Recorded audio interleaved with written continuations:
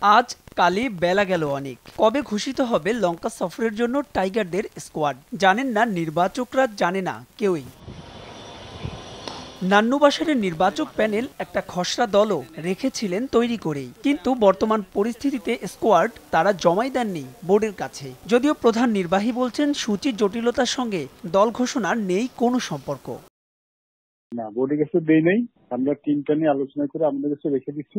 বোর্ডের কাছে দিয়ে আমাদের তো টিম চলে গেল না? আমরা আনটির আনলে ওই ডিক্লেয়ার না হয় এর সাইন না হওয়া পর্যন্ত আমরা জমা দিচ্ছি না। এর সাথে কোনো সম্পর্ক নেই। আমাদের আমাদের, আমি আবারও বলছি, আমাদের যে প্ল্যান সেটা আমাদের নির্ধারিত প্ল্যান অনুযায়ী এগোচ্ছে। বাট আমরা কিছু তথ্যের জন্য ইনফরমেশনের জন্য ওয়েট করছি। সেই ইনফরমেশনগুলো আসলে আমাদের জন্য আমাদের প্ল্যানিংটা আরও ইজি হয়ে যাবে। সূচি জটিলতা থাকলেও লঙ্কা সফর যে হচ্ছে সেটা নিশ্চিত। তাই তো বিশ্লেষকরা বলছেন যত দ্রুত সম্ভব দল ঘোষণা করে শুরু করা হোক আনুষ্ঠানিক অনুশীলন। বারবার না পিছিয়ে এখনই দলটা ঘোষণা করে দেওয়া উচিত কারণ কোচিং স্টাফ সহ সবাইই এখন বর্তমান ঢাকা অবস্থান করছে। দলটা ঘোষণা হলে সবাই জানতে পারবে কে কোথায় কে কে সুযোগ পাচ্ছে কে কে দলের সঙ্গে যাচ্ছে। সবকিছু ঠিকঠাক থাকলে তিনটি টেস্ট খেলতে চলতি মাসের সাতাশ তারিখ লঙ্কার উদ্দেশ্যে উড়াল দেওয়ার কথা মুমিনুলের দলের। মাহবুব রিমন সময় সংবাদ ঢাকা।